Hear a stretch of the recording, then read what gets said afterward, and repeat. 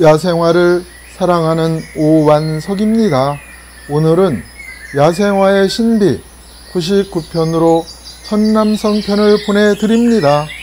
천남성, 분류, 쏙시식물, 으떡잎식물강, 색사목, 천남성과 천남성속, 원산지, 아시아, 대한민국, 중국, 크기 약 15에서 50cm, 학명, 아리사에마, 무렌세, 세라툼, 나카이, 기타, 꽃말, 보호, 비밀, 현혹, 전화위복.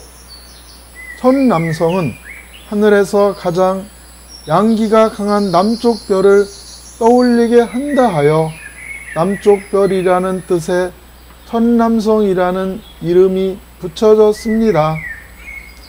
천남성은 숲의 나무 밑이나 습기가 많은 곳에서 자라는 여러 해살이 풀로 토양이 비옥하고 물 빠짐이 좋은 곳에서 잘 자라며 키는 20에서 50cm 정도입니다.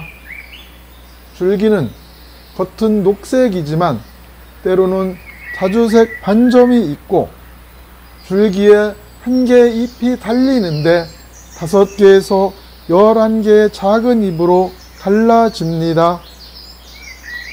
잎은 길이가 10에서 20cm이고 5에서 10갈래로 갈라지며 긴 타원형입니다.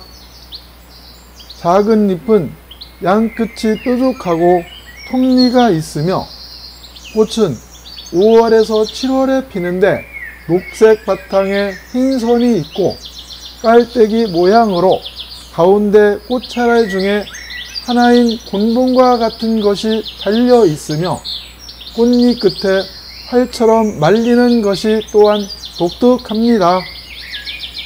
열매는 10월에서 11월에 붉은색 포도송이처럼 달리고 장관은 적색으로 익으며 이 책에는 호장이라고 소개했는데 크고 둥근 덩이 줄기 주변에 구형의 견눈이 있는 것이 마치 호랑이 발바닥처럼 생겼기 때문이며 그리고 뱀이 머리를 쳐들고 있는 것 같기도 해서 사두화라고도 했습니다. 먹으면 구토, 허탈 증세, 심장마비 등이 일어나는 무서운 독초입니다. 천남성은 특히 옛날에는 사약으로 사용되었으며 장희빈에게 내린 사약이 바로 천남성 뿌리 가루이고 유독성 식물이지만 잘 사용하면 중병을 다스리는 약으로도 쓰입니다. 특히 밀가루 반죽과 섞어 수제비를 만들어 먹으면 담에 걸렸을 때 효과가 있다고 합니다. 하지만 현실에는 무서운 독초로 수제비를 만들어 먹을 자가 있겠는가? 백과사전을 보면 독성이 강한 반면 약성으로도 무서운 질병들을 치료한다.